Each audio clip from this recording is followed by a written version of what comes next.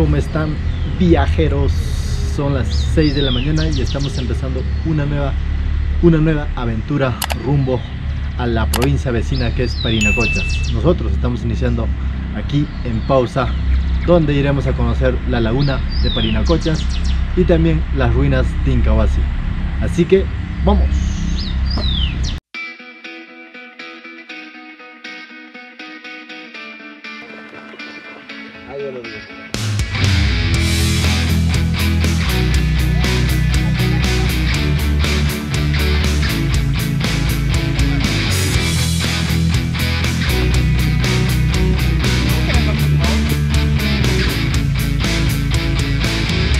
¿Cómo están viajeros?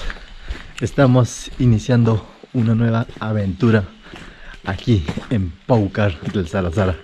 Pero en esta oportunidad nos vamos a ir a otro a otra provincia llamado Parinacochas. Nos vamos a, al lago, ¿no?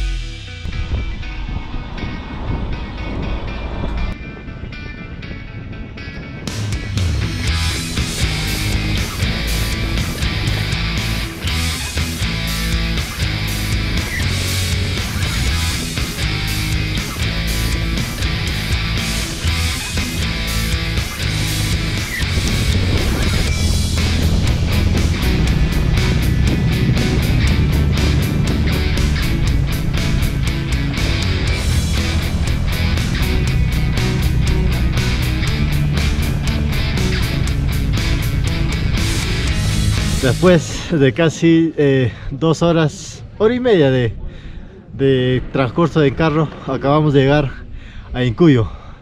En este lugar vamos a desayunar, así que vamos, que me muero de hambre.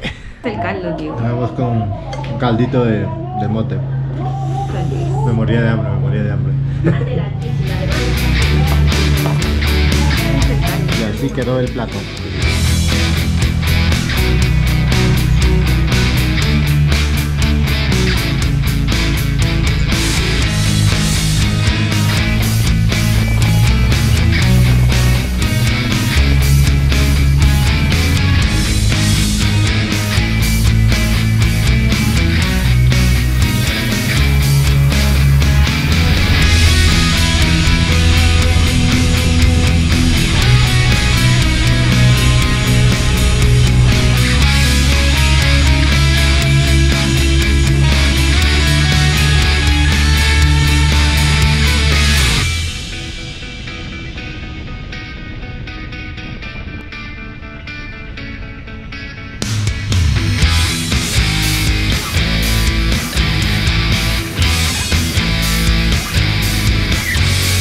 Luego de dos horas de viaje desde Pausa y una desde Incuyo, acabamos de llegar a nuestra primera parada, que son las ruinas de Incahuasi o el centro arqueológico de Incahuasi.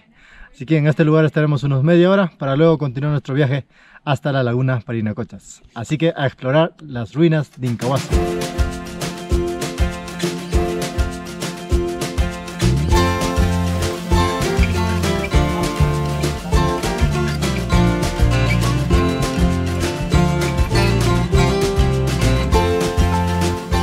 Nombre de Incahuasi proviene de dos palabras quechuas. Inca haciendo referencia al máximo emperador en el imperio incaico y Huasi, palabra quechua que significa casa, casa del Inca. Pero ¿qué era en realidad este lugar o Incahuasi? Según las investigaciones o los estudios que se estuvieron realizando, este lugar tiene mucha similitud con restos arqueológicos incas, por, como el Tambo Real y el Pirca Pirca en todo sentido, en el área administrativa, en la ubicación del lugar e incluso en, en la comparación con estar debajo de nevados muy importantes como es el Pariacaca y en esta oportunidad el Incahuasi está ubicado en la base del, del nevado Sarasara. Se considera que, que este lugar haya sido un tambo.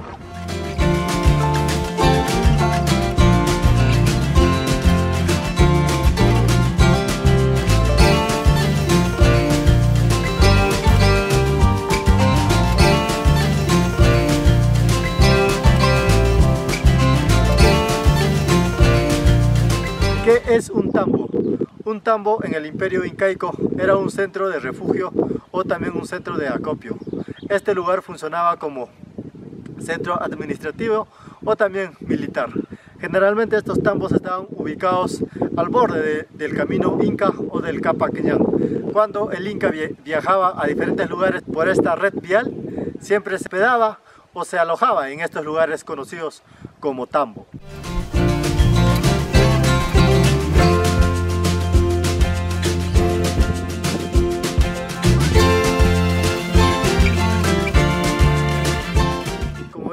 Actualmente existen gran restos, o especialmente pircas, restos arqueológicos que hacen referencia al imperio incaico.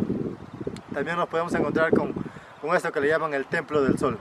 Este lugar, sobre las bases de piedra inca, construyeron una iglesia católica que datan del año de 1847.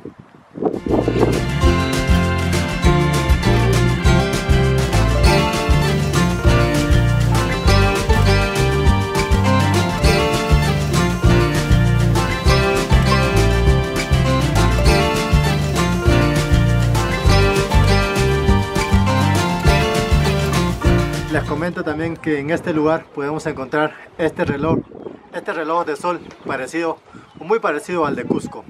Se dice que este reloj servía para ver el tiempo o para medir el tiempo de siembra y cosecha a través de la fluctuación de sus sombras.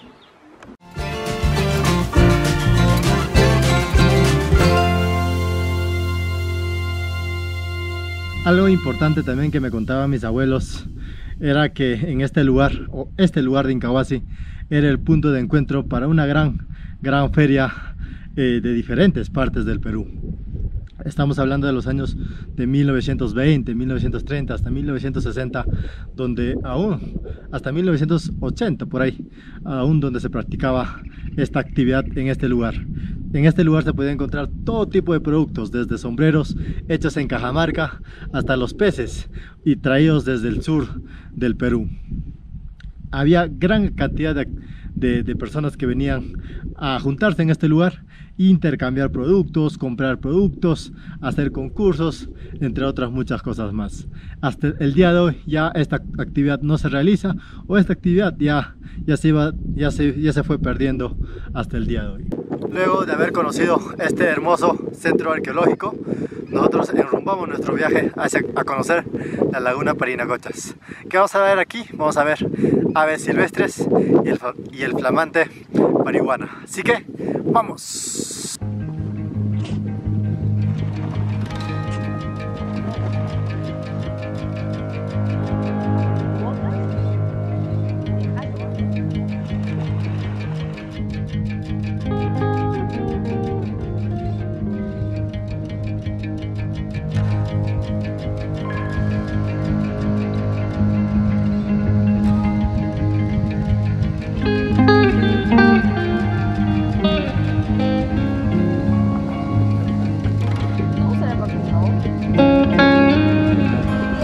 La laguna Parinacochas, también conocida como la laguna de las Parihuanas, en honor a que en este lugar existen gran cantidad de aves silvestres.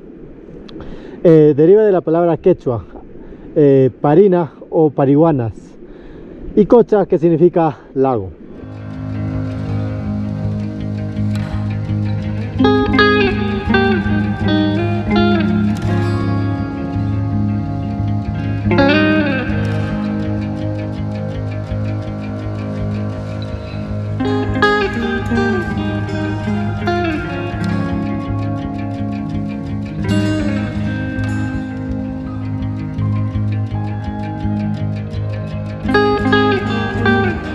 Más de 5.800 hectáreas, este lugar es el hábitat de gran variedad de aves silvestres, especialmente el de las parihuanas. Estas parihuanas viven en bandadas ya que son migratorias. También estas aves son las que han inspirado a José de San Martín para poder crear y para poder inspirarse en la creación de la bandera del Perú.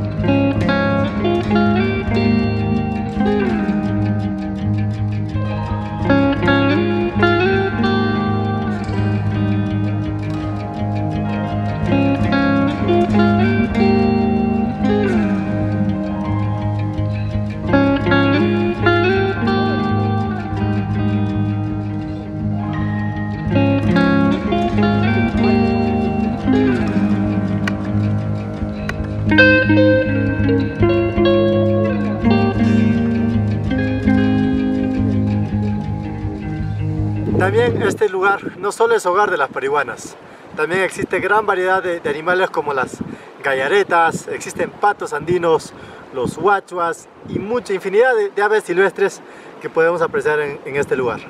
Una opinión personal es que este lugar es magnífico y maravilloso. Es un lugar donde puedes pasar momentos divertidos, una experiencia inolvidable. Les recomiendo visitar esta hermosa laguna.